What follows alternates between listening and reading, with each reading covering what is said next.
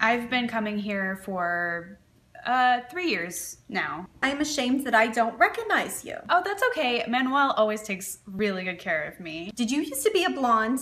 No. Oh, okay. I, I, I thought that maybe you used to be a blonde. no, I'm I'm part Mexican, so Oh, part Mexican. Well, okay. I think that Manuel's part Mexican.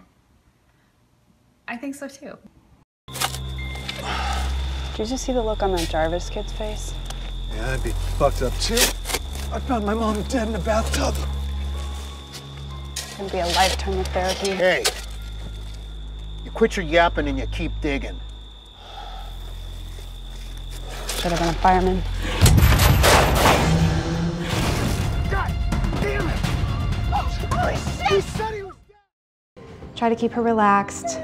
I'll be right back with her x-rays. Do you need anything? Nah, just some good news. Hey, Cortana, call Elena. Sam, how's Bella doing? You should be seeing the x-rays now. Shows an incomplete fracture to the fibula. Fossa and flexor look good. Stifle's intact. Great. Lucky pup. Thanks, Sam. No worries, see you in a few.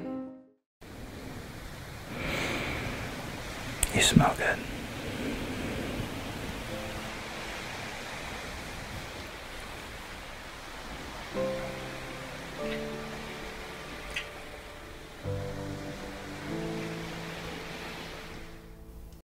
I know, Sarah. Dave and I are so pleased with how it went.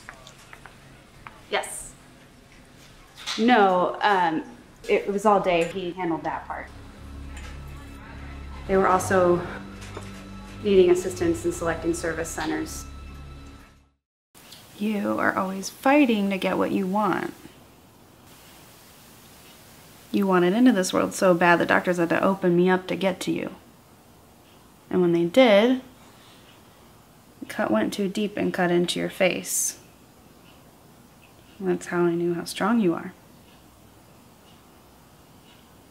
Next time those girls make fun of you, remember that scar on your face and you'll know how strong you are. You don't need to fight to show that.